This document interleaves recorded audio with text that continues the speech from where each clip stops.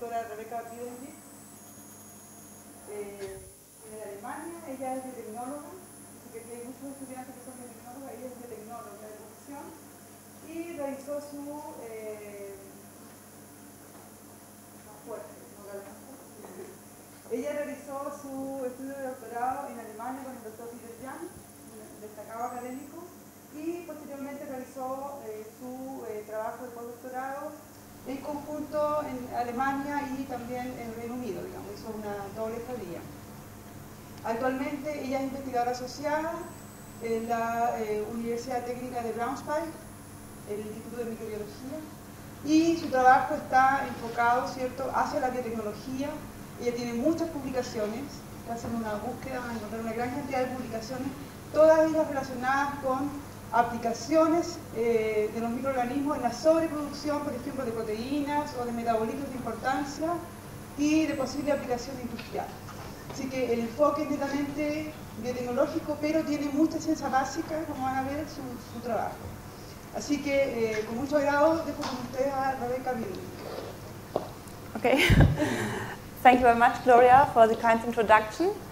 Um, I'm very happy to be here today, and um, I also have to thank Gloria and um, all the members of the lab and Marcella for the wonderful time I had here in Chile.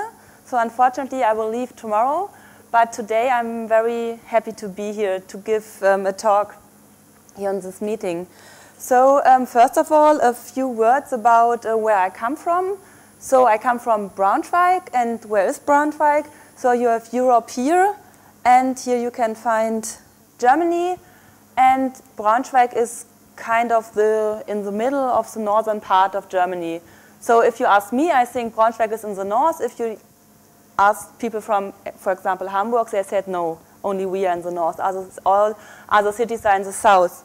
So Braunschweig is quite near to Berlin, to Leipzig, where the FEMS meeting will be um, this year. And um, yeah, Bremen, you can reach everything quite nice.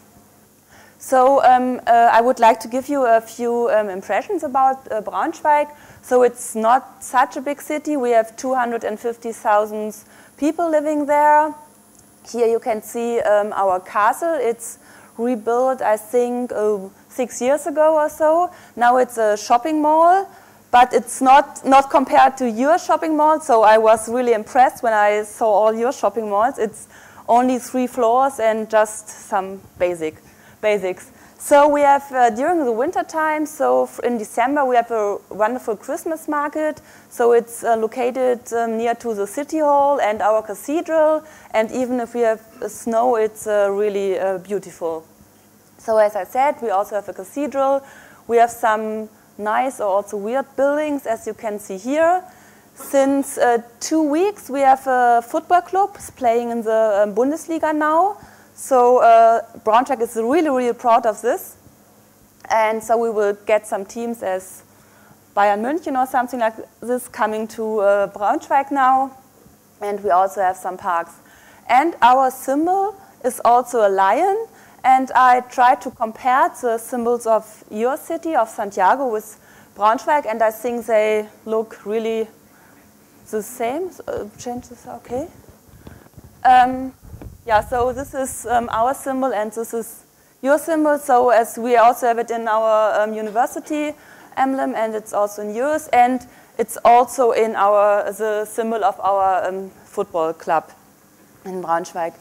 So, and I guess many of you have already heard about Braunschweig because if you are working with microorganisms as bacteria, yeasts, fungi, or whatever, um, they, most of them, they have the pre-name DSM. So they have DSM and then a number. And this DSM, DSMZ, so the German strain collection of microorganism and cell culture, it's also located in Braunschweig. So all uh, strains having this DSM number are um, collected here um, yeah, in these uh, buildings. And then they were shipped uh, worldwide. So last but not least, we have here our university. This is our main building. The university is kind of a campus, so everything is near together, but we also have institutes um, which are spread around the city. But as I said, Braunschweig is not that large, so it's really nice to um, reach all of them. And here we have um, our biocenter where um, I'm working in.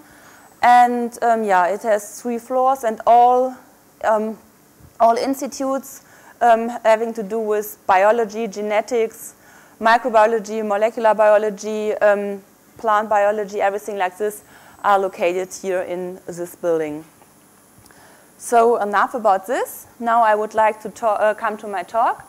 So today I would like to present you um, kind of a story about um, Bacillus megaterium at our lab um, in Braunschweig. So before I start, I have to thank many, many people because so we worked on this organism for 12 or even longer years now. And so there were many people involved in these, um, in these projects, so professors, postdocs, PhD students, bachelor, master students, or former diploma students. Especially I have to um, focus on Dieter Jan, who is my supervisor and who gives me the opportunity to work in his lab and have my own working group there. And of course, the DFG, so it's a German science foundation for funding. And the Mobitech, it's a small company who is, um, um, who is distributing our, um, our vectors. I will tell you about in my talk, um, all, also all over the world. So let's start now. So um, I call it a, a, little bit as 12 years Bacillus megaterium in Braunschweig. So when we started, there was, of course, a general goal. So we wanted to develop a bacterial, so not a fungi or something but a bacterial expression system for the production and secretion of recombinant proteins. That means proteins which are not um, normally produced by the organism, so that we have to genetically um, engineer or manipulate this organism. So this was um, our goal. Then with this goal, we started to uh, search for um, a suitable host. So we went back to the 90s. And there um, we found um, already an article which called Prime Time uh, for Bacillus megaterium. So we, we, were, we were wondering a little bit because so far we didn't hear about this organism. So we went in the literature and uh, found some really interesting things for us. So here you can see an electronic microscopic uh, picture. The large cells are Bacillus megaterium, that's the name mega. And the, only the small cells, it's typical E. coli. So you can see it's a huge, really huge large, long, with a big volume organism. So further, we uh, get to know that it is a gram-positive organism. That means it has a cell membrane and a thick cell wall, um, no outer membrane, and it's it was very important for us to find a non-pathogenic organism because we wanted to use it for production of proteins. Um, further, it can grow on various uh, carbon sources. That means it, uh, we can also use, use some waste products um, from industry or something like this to grow this organism on. Further, it has a stable maintenance and uh, replication systems for plasmid. For plasmid. So what does that mean? So here you have the cell, as I said, gram-positive with a membrane and the very thick cell wall. Then you have normally uh, the genomic DNA. But um, in addition to the DNA, to the genomic DNA, there are many strains known which have kind of extrachromosomal DNA, so plasmids, which are replicating independently of the chromosome. And these plasmids are very, very stable in Bacillus megaterium. So this was also kind of very interesting for us because we wanted to manipulate this organism. So further, it has a high potential for protein secretion. What does that mean? So normally cells produce proteins and they're needed for their metabolism, um, keep them alive, etc., etc. But um, sometimes pro, um, microorganisms are able to secrete proteins to um, for example, um, can take up some, oh, no, they, sorry, they secrete proteins to use some, uh, for example, polysaccharides or disaccharides. They cut them into pieces and then they can take up the glucose, the fructose or whatever. So just to show you, so we have, for example, a gene of interest, the mRNA translation, and the protein folding. That means the intracellular proteins. But now, if you would like to secrete the protein, we need kind of a signal. And this signal is already um, encoded in the genome or on the plasmid. We have the mRNA and here the translation, but the polypeptide chain stays unfolded. So that means it's you do the cells do not have to um, secrete this huge uh, big protein through their cell membrane, but they have only this very long polypeptide chain um, and guiding this through a pore through the membrane. And this you can see here. So we have the unfolded protein here, just the polypeptide chain, and then it's folded. The signal peptide is cleaved off, so the protein is free now and can be released to the growth medium. This, of course, is very good for biotechnological um, applications as you do not have to destroy the cells to get the protein, but you can easily um, just um, um, remove the cells and you have your protein of interest, for example, in your uh, cell-free supernatant. So um, from now on, during my talk, I will separate between intracellular proteins, as you can see here, and the extracellular or secreted proteins. And with this, uh, we found our organism of interest. So the next thing is we wanted to manipulate the organism as we, it was our goal to produce all kinds of different proteins, not only Bacillus megaterium proteins, but all kinds of different proteins. So further, we, were, we went through the literature and found this article. It was also from the early 90s, where they talked about expression of heterologous genes in Bacillus megaterium using a xylose utilization operon. So we um, were very interested and went on. And here you can see this kind of operon. So you have three genes in a row and one promoter. And in the other direction, we have a repressor encoded. So how is this operon function now? So I will give a short, um, give a short um, introduction here. So we have the operon, the repressor, and the repressor is produced and it's, um, it's bind to the operon um, region and that means the um, expression is blocked. But as every time you have kind of very, very low basal expression. So that means very, very low amounts of the transporter were there and of these structural genes. Then, if now xylose is present in the medium, it's going into the cell via this transporter. The xylose then is bound to our repressor, and the repressor has changed its conformation, and so it cannot bind here anymore. So that means now the polymerase is able to express the operon and to form the mRNAs and so the proteins. That means in nature, xylose is now metabolized to form xylulose 5-phosphate we have more xylose uh, uh, transporter, and so we have uh, we can um, produce more, get more xylose in, and we got more and more of this protein. So um, now the, the people in the early 90s, they used this system, but of course they were not interested in overproducing these proteins, but they wanted to overproduce recombinant proteins. So they used the repressor gene, of course, and only the beginning, so the start of this operon, followed by a multiple cloning site so that they can easily clone genes into um, this region. And they do not um, change the genome, but they put it in a plasmid. Because, as I have told you before, plasmids are very um, stable in Bacillus megaterium. So they constructed a new plasmid which is, has uh, some areas for cloning in E. coli, because E. coli is the standard uh, cloning host you use for all other, other organisms. So we have an origin of replication and a selection marker for E. coli, and all the um, genes for replication and uh, selection in Bacillus megaterium. So these areas for Bacillus and these for E. coli will stay constant during my whole talk now.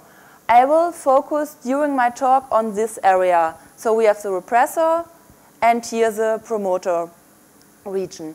So this new um, promoter system was introduced in our vector, or not in our, it was not our at that moment, it was in the early 90s, and they tested it for producing recombinant proteins. And as a kind of standard protein, they used luxetgine, so the beta-galactosidase. And they could find it well overexpressed. So this is time zero before they add xylose to the medium. After adding xylose, one, two, three, four hours, they got a overexpression and, the overproduction uh, of this protein. So they find a difference between zero and one of 130 fold. So this was for us um, the start. So with this system, we had Bacillus megatherium, and we have this basic vector, so one vector, we started in uh, around 2001. Then in 2002, 2003, um, we published the first um, patent because um, industry were um, already very interested in our system, and so we decided, okay, we would like to put a patent on the system. Okay, so then in 2004, 2005, we had the first um, publication on our new system. So it was about the production and secretion, um, of course, of a recombinant dextransocrase. It was from a leuconostoc mesenteroides. Uh, um, and a dextransocrase is able to form dextran, so a very, very long um, um, polysaccharide. Um, and it's, uh, yeah, it's forming this from um, sucrose. And we used, of course, Bacillus megatherium. Um, so for this, again, we used the system, but we found out when we used it the years before that there were some drawbacks in our systems.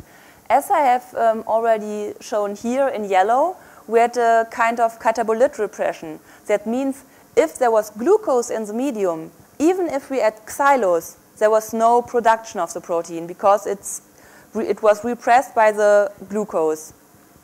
So in our um, vector system, it was not, um, so the Cre element was not useful, and so we removed it. And we also um, put in a longer multiple cloning site so that we were able, so we had now 15 different sites for restriction enzymes and can easily clone every gene of interest. Again, this part was in our vector, and we changed the name a little bit from PWH1520 to PMM1520 because it was, um, yeah, the, the first um, person who produced this vector was called Marco Malten, and so we said MM Marco Malten. Uh, so this vector was then used for um, secreting another recombinant, uh, for producing another recombinant protein, the dextransocrase. But importantly, we have the signal peptide. So that the protein or the cell gets the signal, okay, this protein has to be secreted. And for the first time, we were able to secrete protein and it was also active. But um, as we were a bit, um, yeah, perhaps at the beginning a bit stupid or something like this, we started with a really, really huge protein. So this is more than 200 kilodalton is a really huge protein, and it was not that easy to secrete the protein, and we only got hundred of hundreds of milligram per, um, uh, sorry, microgram per liter. So microgram, this was a really, really low scale so far. But anyway, we were able to secrete it and we got active proteins. This was really important. So we went on in 2006 and went on on the system because we, would, we started to modify it a little bit more. And we still focused on the export, so the secretion, but we also were interested in purify the protein. So to get pure protein, to do some um, activity assays, crystallization, and so on. So again, we used this, this system, and now we um, integrated sequences, so DNA sequences, for a signal peptide and for purification tags. And um, we constructed several different vectors. As I said, I will only focus on this area here. and you can see the areas here. So we have a signal peptides, the multiple cloning site, and a his tag, so a histidine tag, and a strep tag, so that you can do some affinity chromatography to purify your secreted protein. Importantly, all the multiple cloning sites are the same. That means if you have your gene of interest, you can um, clone it in all of your vectors and just test which was the best one. So of course, after, um, in, after producing or after constructing all these vectors, we also wanted to test them. And this time we didn't go to this really huge protein. We went a little bit smaller, so it was only 100 kilodalton. So we used the levansocrase. It's again a protein which is um, forming a polysaccharide. So this protein was then, uh, the gene of this protein was then cloned in all of our vectors, and we were now in the really low, but we were now in the milligram scale. So we get 4 milligram per liter um, of this recombinant protein. But further, we were interested in purifying this protein, so to get rid of all the other proteins. So, as we have the protein in our, self in our growth medium, we just had to remove the cells, have our cell-free growth medium, and to this growth medium, we add our affinity um, material. So the material which is able to bind the affinity tag. And the results you can see here. So these are the elution fractions. So after eluting them from the, from the affinity column, and we get really, really nice and pure, and of course, again, very important, active protein. So uh, from this 4 uh, milligram per liter, we were able to purify 1 milligram per liter. It was not much, but um, it, so it worked, and we were very happy to have this pure active protein. Um, so going on in 2007, um, we were all still in the really, really low milligram scale. So we were a bit wondering if this organism is able to produce more or is it only very low um, um productivity.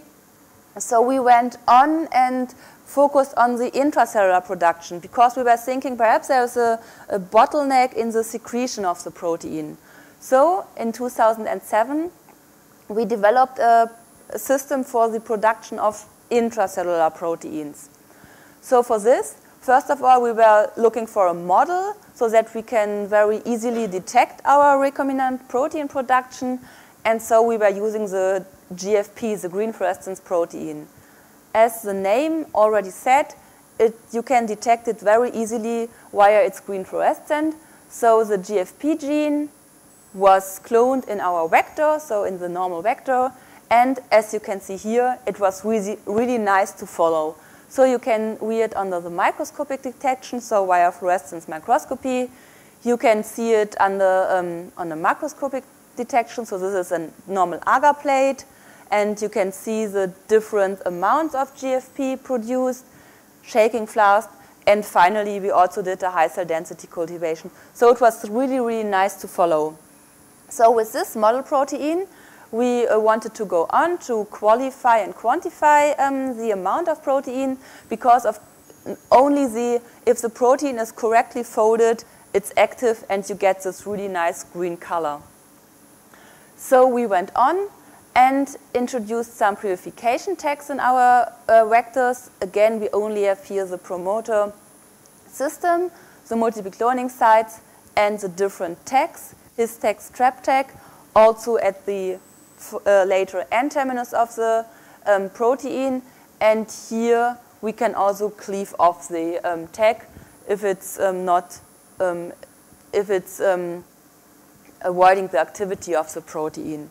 So again, all these constructs were tested using GFP. And the results you can see here. So we have, this is without a tag, and here you can see the different sizes because of the different sizes of the tags and this protease cleavage size.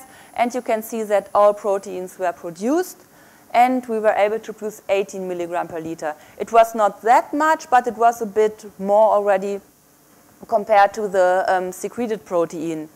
Finally, we were also interested in, uh, in purification of the protein. You can see it here, very nice. It's also very nice to follow, so it's especially for if I have students in my lab, it's really nice for them to see how it's purified and how it's bind to the column and then how you can uh, really nice elute it. You can see it here, so the elution fraction. And finally, we again got really nice pure protein. But this is all intracellular proteins now. So we purified 9 milligram per liter. This is nine more, more than uh, compared to the Levan sucrase. Finally, we also went in a little, so only 2 liters, but in a little fermenter. So we um, made a kind of high cell density cultivation. So we grew the cells very long. And after um, only after 31 hours, we introduced the recombinant protein production by adding xylose here and here you can follow the um, GFP production. And now finally we got 274 milligram per liter. So that, was, that showed us that the system is normally it's uh, suitable for producing high amounts of proteins. Nevertheless, um, we, we were thinking of um, yeah, what, what could be some other um, drawbacks in the systems. So we analyzed these, um, these cultivation process, so this high cell density cultivation process a bit more. And we found out that, we uh, that there was some kind of culture heterogeneity in this um, process. So what does it mean? So again, we have here our production process, the induction of GFP, and now we analyzed the single cells in this, uh, in this process. So we had all these thousands, millions, whatever, uh, little cells in our, um, in our fermenter, and now we analyzed them, doing some uh, flow cytometry. And we analyzed them um, between living and no GFP producing cells. So living and no GFP producing is, of course, before we induce a, a recombinant protein production. Then we have living cells producing GFP, and of course, in our whole fermentation process, there are every time dead cells producing GFP or, ha or having produced GFP when they're alive or no GFP. So this was before the in, uh, induction of the, uh, of the GFP production. So we have um, kind of 8% of dead cells, and all the others were no GFP pro producing. So that means our um, promoter was really strictly controlled. And now after, addition, uh, after the addition of xylose, we observed this. And that means here, the red cells are the important ones. That means we have around of 25% of really lazy cells. So even if they are all genetically, uh, genetically identical, they do not produce GFP. They have the plasmid, they have all genetic information to produce GFP, but they didn't. So we repeated this experiment, of course, several times, and we found out the same all the time. So at this time, we didn't have an answer. Um, so to focusing more on the production again, in um, 2009, we were thinking, well, there's a very well um, analyzed um, system in E. coli using the um, polymerase of a phage, the T7 RNA polymerase. So we were thinking of um, using this system and transfer this system to uh, Bacillus megatherium, as in E. coli is kind of a standard system. So that means we use this T7 RNA polymerase dependent system and use this for our strain now. So we put the gene of the T7 polymerase under control of our xylose-inducible promoter. That means if we add xylose, then this polymerase of the uh, phage is produced. So compared to the polymerase of the uh, bacterium. Um, and we have our gene of interest, and this gene, the expression of this gene is under control of the RNA polymerase um, T7. So now the polymerase is binding to the promoter. The gene is um, expressed, transcription, translation, and we have our protein of interest. And again, because it's such a nice model, we use GFP.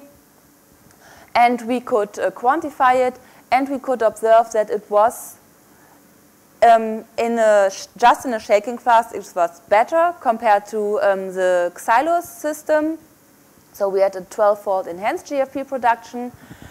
But there was a drawback because the cells now had, just to go back one slide or two slides, we have two vectors now. So two different vectors. That means we needed two different antibiotics. And so that means the cell was not that happy anymore.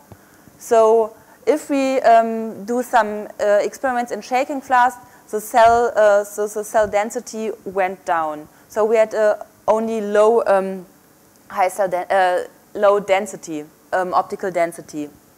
That means if you compare the amount of protein compared to the cell dry weight, it was more, but we got less cells. That means we only have, we have also less GFP. But a very big advantage of this, pro, uh, of this um, system now is that we are able to clone toxic genes. So the, uh, the promoter is completely regulated in Bacillus, but also in E. coli. And this is a very important thing for us because our cloning host is E. coli. So we do the cloning in E. coli. And um, so we need a strictly regulated um, um, promoter for E. coli. So this was an advantage. This was also nice, but uh, nevertheless, we went back to our Xylus system. So in 2010, we um, had a closer look to the, um, to the promoter in general. So again, you know, already know it, our system, but the promoter is not, that, uh, not only P-Xyl A, but it, so uh, promoter has different, um, different parts. So we have the minus 35 box, the minus 10 box. Here we have the um, transcription, uh, transcription start. We have the XyLR binding site, the ribosome binding site for translation, and here the multiple cloning site for our gene of interest. So we had a closer look, and um, you take out these, the minus 35, minus 10 box, these 5' uh, prime UTR region and the ribosome binding site, and changed it to their consensus sequences. So we did some bioinformatical analysis and tried to find out which would be the optimal sequence, the optimal DNA sequence for, um, for all these um, areas of the DNA. And by doing this, um, again, uh, GFP, we found out that, so even if we um, optimize the minus 35 box, we get an 11-fold increase compared to the native system. Also, minus 10 box threefold, um, 5 prime um, untranslated region fourfold, RBS twofold. So um, that was the first really nice um, result. And then, of course, you think, okay, if you only change one, we got an 11-fold increase, threefold, and so on. What about um, a combination? perhaps minus 35 box and ribosome binding site. Do we get a 22-fold increase then or only a 13-fold increase? So we did some different combinations, as you can see here, and there was not this, um, there was only, no, not even the sum, it was only a, yeah, a little uh, more increase here. So um, we, we um, combine the optimized ribosome binding site with all these other constructs. We did some more experiments, but the best result was came out here while combining two, um, two um, um, parts of the promoter. Then we were thinking of, okay, combining these with another um, optimization for minus, um, 10 or the UTR, but here we found out this and that means that um, if we combine more, uh, if we optimized, um, in this case, three of these parts, we got a really uh, less production, but also the promoter was not, we couldn't control the promoter anymore. So even if we didn't put xylose to the medium, the cells were green. So um, we skipped all these and went on with the 12-fold induction here, did some shaking flask experiments. here we now, compared to the former um, um, experiment where we have 18 milligram, we now have more than 120 milligrams per liter. And going back to the high cell density cultivation, we now finally reached our goal to produce more than one gram per liter uh, cell culture of recombinant protein. Um, so this was um, yeah, a really nice success. So um, how to go on now? So in 2011, we finally got the genome sequence of our strain. So we started to sequence the genome, do it with a company and also by hand in the lab, doing some PCRs, closing some gaps and so on, doing the annotation in a PhD thesis and so on. And finally, in 2011, we were very happy to have um, our genome. So you can see it here. So um, it has 4.1 roughly megabase pairs, so it's a really huge genome compared to, for example, E. coli, e. coli which has only 4.2, Bacillus subtilis only 4.2. Normally, only um, microorganisms or bacteria who are pathogenic, they have such huge genomes. But our is not pathogenic. Anyways, we have this huge genome. We do not know at the moment why it's, it's large. But anyway, with this information now, we were able to start doing some omics technologies. For example, transcriptomics, so analyzing the mRNA levels, proteomics, metabolomics, and so, so on. So this opens us the, the door for doing uh, many more experiments now. Another thing came up in uh, 2011. Um, we went back to this phenotypic heterogeneity, which I showed you before, where we have this kind of 25% of lazy cells. And we wanted to go in this, um, in this a little bit closer. And so we did more analysis on a single cell level. It's really nice because Bacillus megaterium is this megaterium is very huge. So it's um, very easy to det detect under the microscope. It's very nice if you do these, do these kind of flow cytometry or uh, FACS analysis, so uh, fluorescent activa uh, activated cell sorting, because you have very huge cells. You can kind of compare them to eukaryotic cells. So again, with starting with this, we went on the microscope. We're doing some time-lapse microscopy. This is just the final. So we're starting to observe only one single cell under the microscope and they started to divide and divide and divide, and finally you have this. But what is the most important thing is that you have different levels of GFP again. So even, again, even the cells are genetically identical, but anyway, they're producing different amounts of GFP. Um, so we could also observe them um, on an agar plate.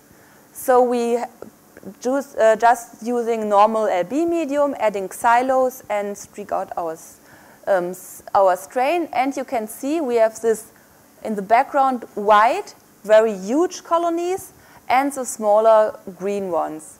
So this was also again a kind of um, heterogeneity. With this, we went to the, we did the FACS analysis. So we kind of sorted the cells not only counting them, but also sorting them. That means that they were still alive afterwards and we could go on with the cells and we get these two distinct um, fractions.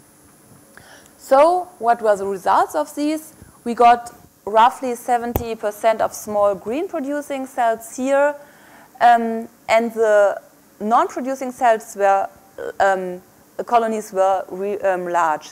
That uh, was uh, really nice because um, the um, experiments we did three years before told us exactly the same, with having roughly 25% of lazy cells. So uh, now we have 30%.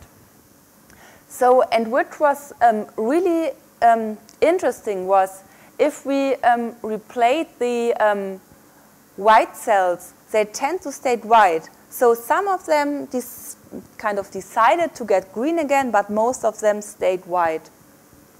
And replating the green colonies, so that means if we take a, took a green colony, they again, we again have 70% green and 30% white. That means the cells did not lose their possibility to produce GFP. They just, there's, so far we don't know what, but there's kind of uh, phenomenon happening in the cells which was this uh, kind of B stability or something like this. And we get, as I already said, two distinction, distinct fractions. Um, this is, of course, really important for industry because if you think industry has a really huge fermenter and they feed them just to get more and more cells, but if only 70% of these cells are producing and 30% are lazy, but just eating, eating, eating, it's, it's a waste of, um, it's a waste of a source, it's a waste of medium, a waste of um, place, and so on. And this is not only true for Bacillus megatherium, you can find it everywhere in the literature. So it's for sporulation, not all cells start to sporulate. It's also you have a heterogeneity there.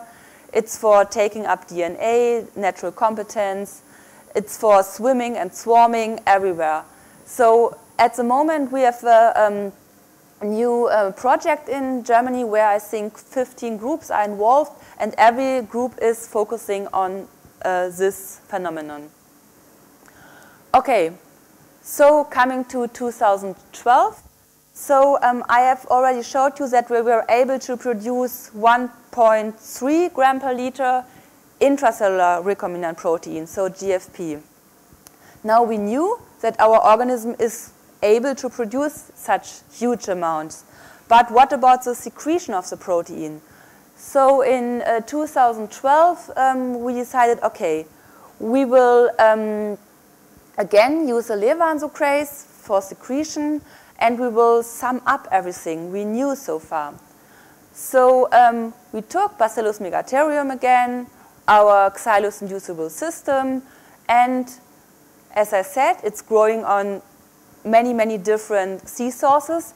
We use grow, uh, raw glycerol. It was a, it's a waste product from industry. So um, this was all known in the 90s. Then we used our secretion system because we wanted to secrete the protein now. We used our, we called it high performance promoter, so the optimized promoter. We used the levansocrase we um, already analyzed during the uh, in the years before. And I haven't talked about this today, but we were also focusing in um, cooperation with the biochemical engineers on, the, on optimizing the cultivation strategies, so the pH, temperature, oxygen, um, and so on. And we also used these cultivation strategies. So combining all these, we use it for secretions of liver and the crash and as you can see here now, this is just the pure supernatant. So without um, precipitation or something like this, and this is our protein of interest. So we get really nice protein. It's not purified or anything else. It's just the dominant protein in our cell-free supernatant. And co you could also see it's after almost 80 hours, so it was very stable. We also tested the um, activity, and it was active and everything like this. And now we didn't reach the gram per liter scale, but we could um, produce more than 500 milligrams per liter already.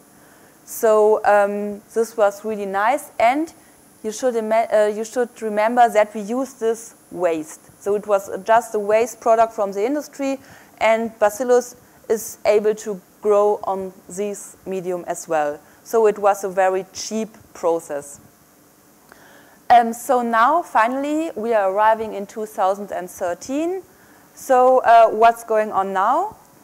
Um, so the, at the moment we are, so uh, within the last half year, I was focusing with my people on the um, kind of systems biology. So as I said, we now have the genome sequence and we are able to do some transcriptomics, proteomics, metabolomics, and so on.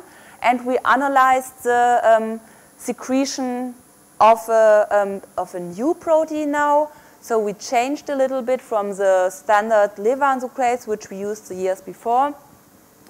Um, now we used an antibody fragment. So completely different topic now, or not, not a completely different topic, but a completely different protein.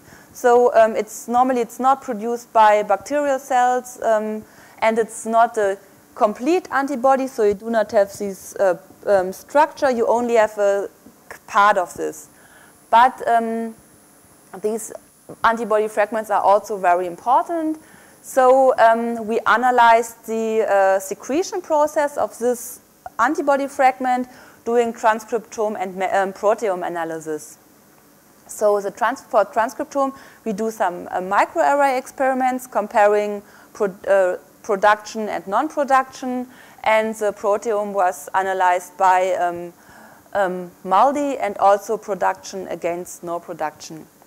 And we found um, many proteins, genes, proteins, which were regulated.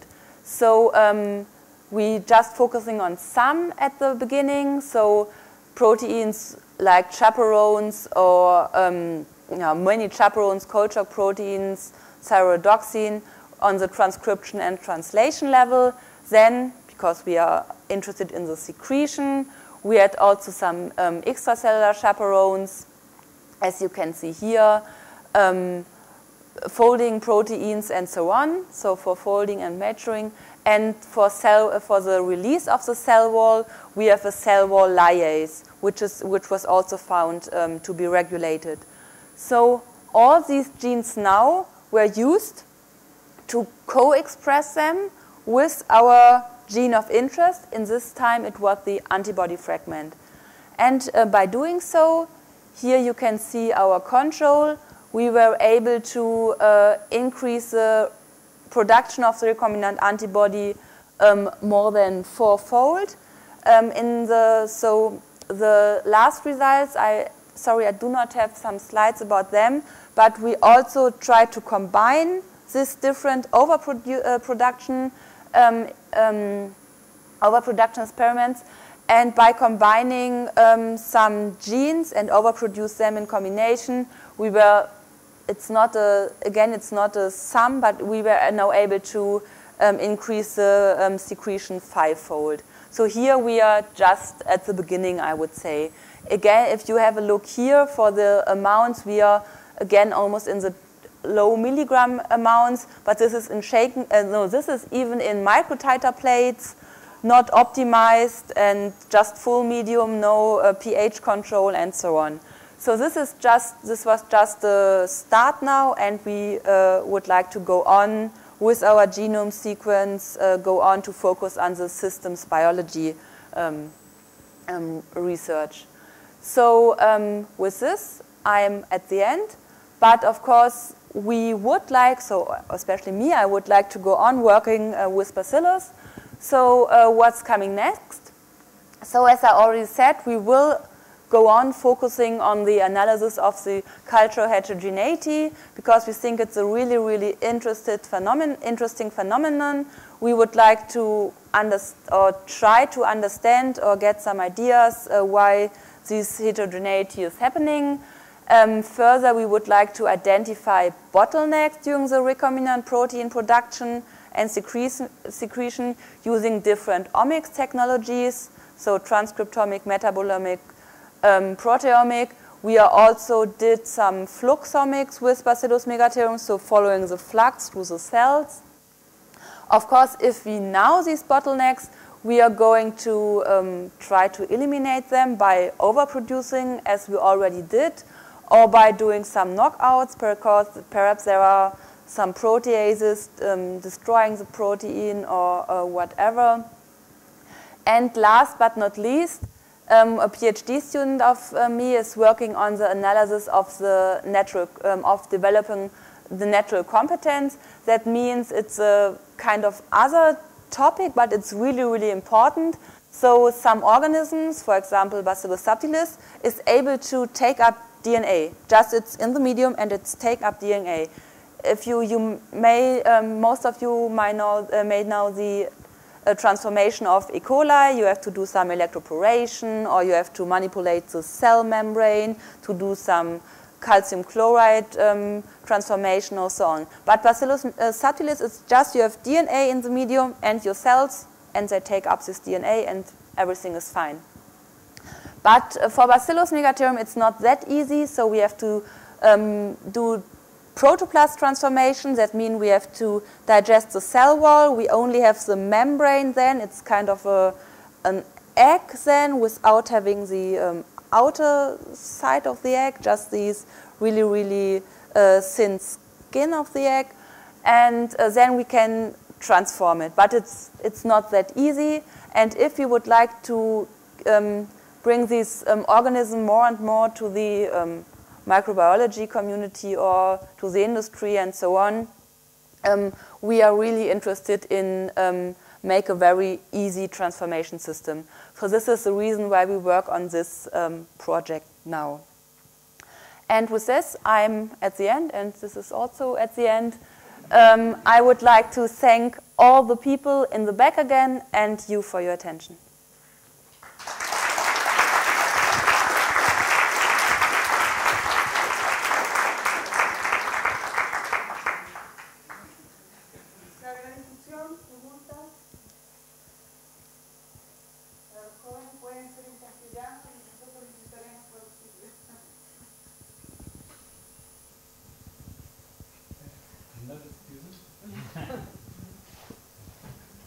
I'm uh, quite impressed about how systematically you have improved your system, so congratulations for that work. Uh, and uh, I'm impressed also for the amount of protein you get.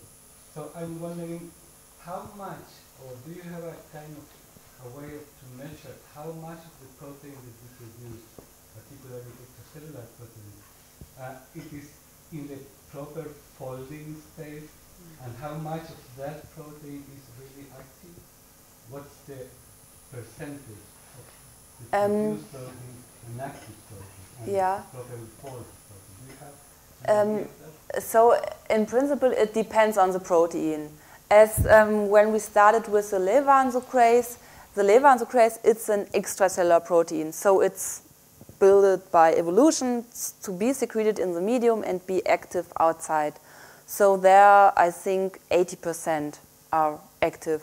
Some are some misfolded or something like this, but more of 80, yeah, 80, 85% are active.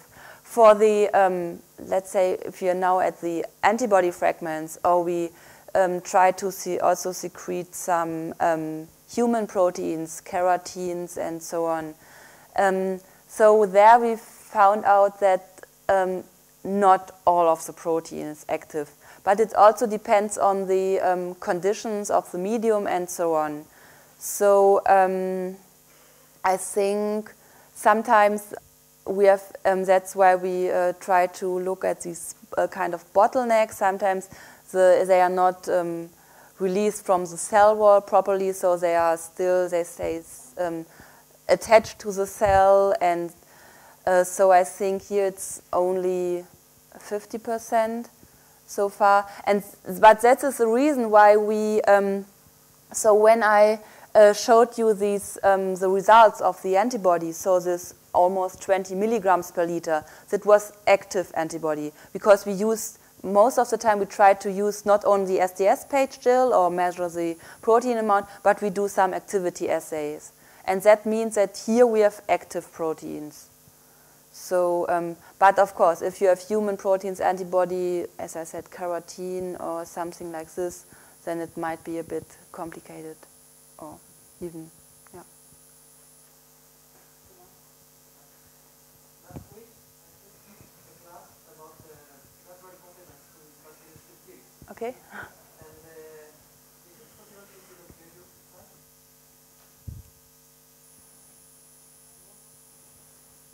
One question. No, Uh, uh, okay. this one.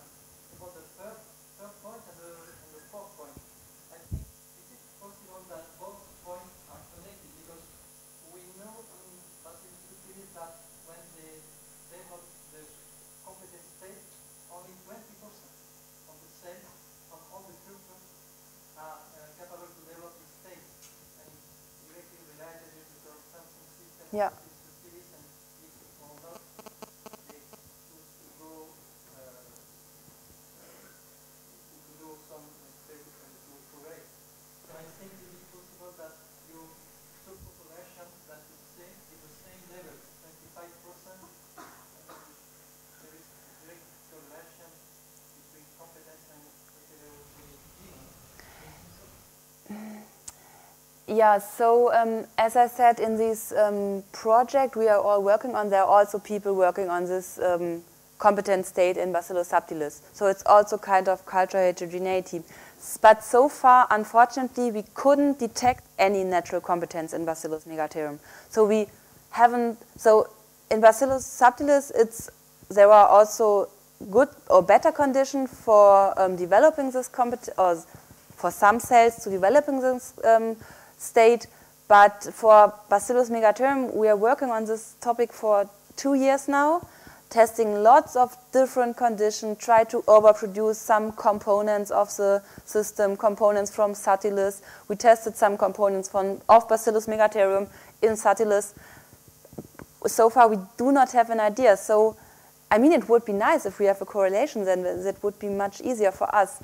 So at the moment, I think this cultural heterogeneity, there's something happening in the cells for all. If it's a product, protein production or the competence or the sporulation. But so you mean if there's a correlation between competence and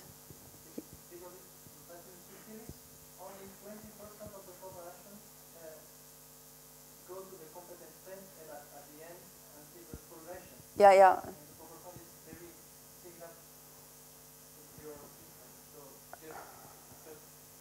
Yeah, so I mean, I think there is, there must be a system and there must be an idea of the cells to, yeah, to have this um, heterogeneity so that, that there are some cells who behave different compared to the others.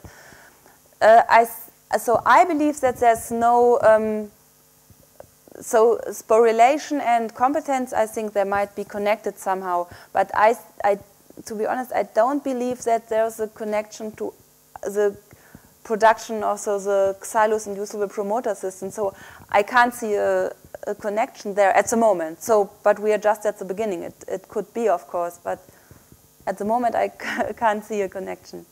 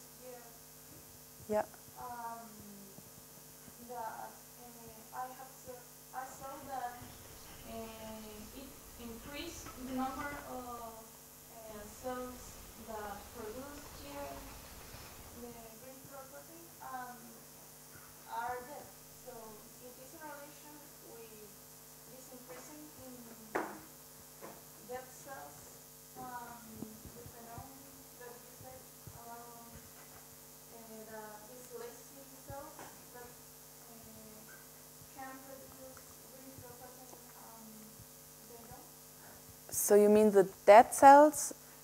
Because they are so the dead green cells they are in they are increasing. Um, it could be so for us in the like perhaps I can just oh, uh, but it will take ages if I go back there.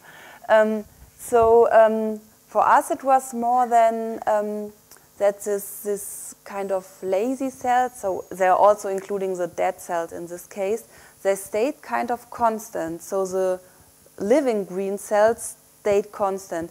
Of course, there are, um, yeah, there is a phenomenon that the, the um, green producing, uh, so the GFP producing cells, they start to die.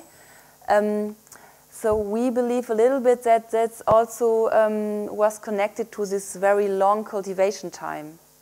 So we were at, uh, I think we, in, um, in, um, induced the GFP production after 31 hours. So this was already a long time for them. And then, um, then we observed the GFP production over, I think it was around seven hours. And um, I, showed, I showed this curve before.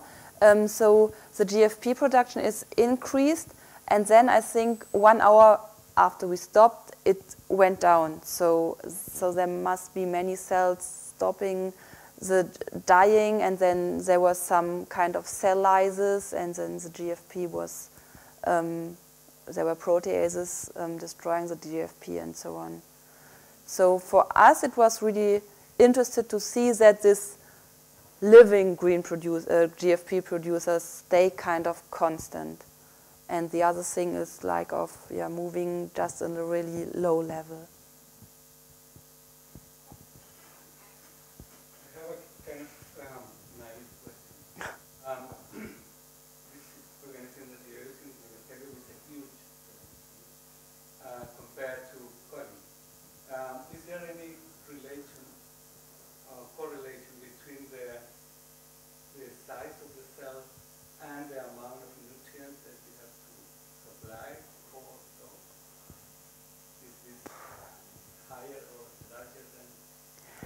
Um, this is a good question. I just have to think about it. Um,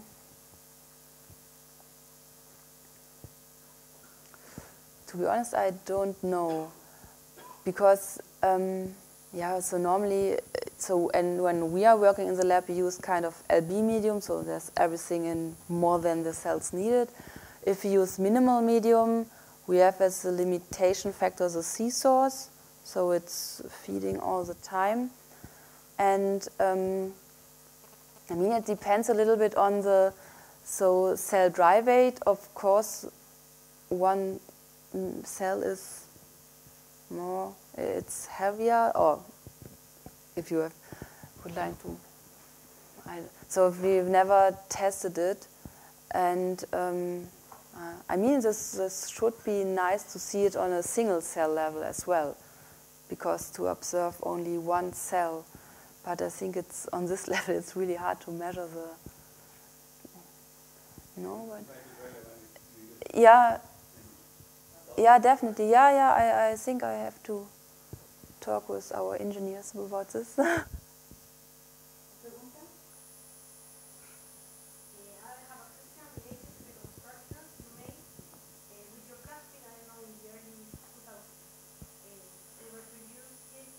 -hmm.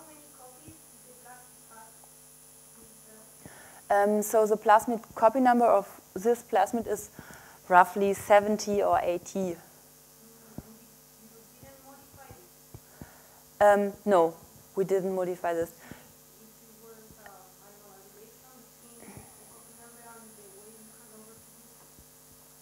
Uh, this, this would be, of course, this, this could also be nice, but um,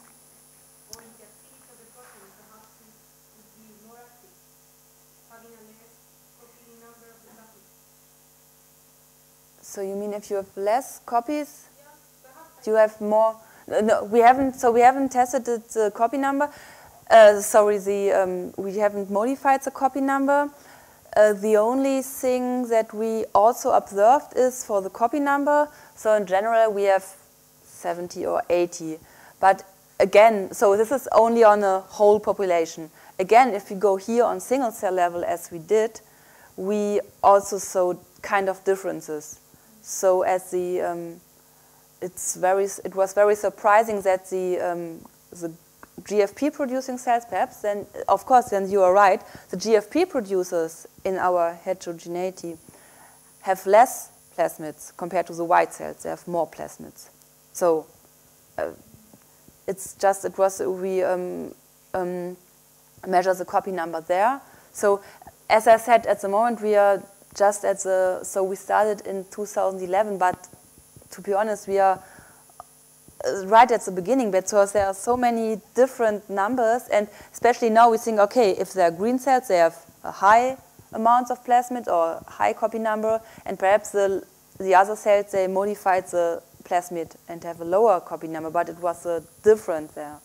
So, um, but yeah, so you, you can think about modifying the copy number as, for example, for E. coli, you have thousands of copies per plasmid or something like this. But we didn't.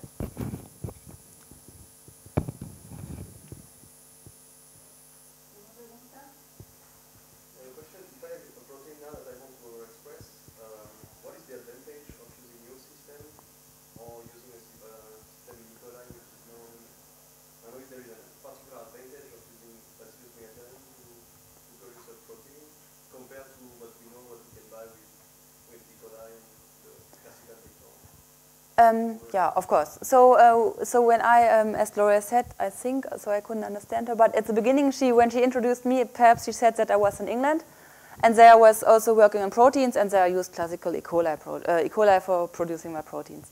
So for intracellular production, um, I would every time I would start with E. coli, and that's what most of the people do.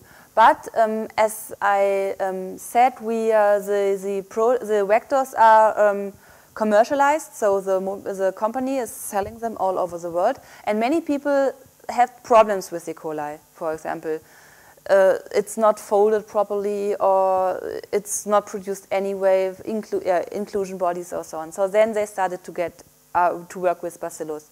Bacillus is E. coli has these endotoxins, so it's not non-pathogenic. So of course, in the normal K12 strains, you can work in an S1 laboratory, but in principle, it's not pathogenic. And I think the most important or the most um, advantage of Bacillus megaterium is the secretion. So that was why we started with the secretion. We were very naive at the beginning, so just, oh, we will do it and everything will be fine. Um, so we started with the secretion, but there were only low amounts. Then we went back to the intracellular production. We saw, okay, the possibility is there, and then we went back to the secretion. So now we are most of the time focusing on the secretion because E. coli, um, it's only most of the time it's only secreting in the periplasm, and of course, and now there are there are some systems who I think they do not exactly know how, but the uh, protein is then also released to the growth medium, but you do not know how. And you have these endotoxins, so you have a kind of pathogen factor. So, but you're right. I, I would also say start with E. coli, and if you have problems, try the system. yeah, even some more. Yeah, so because the, I just show, so we have different, for example, different kinds of signal peptides. One of my PhD students, he's just trying to um, construct a library of uh, secretion signals so that you are able to test the best one because you cannot use only a standard secretion signal because um, as it was shown for other organisms, so the combination of signal and um, protein is also very important. So we would like to have a kind of library to test many, many different secretion signals. Yeah.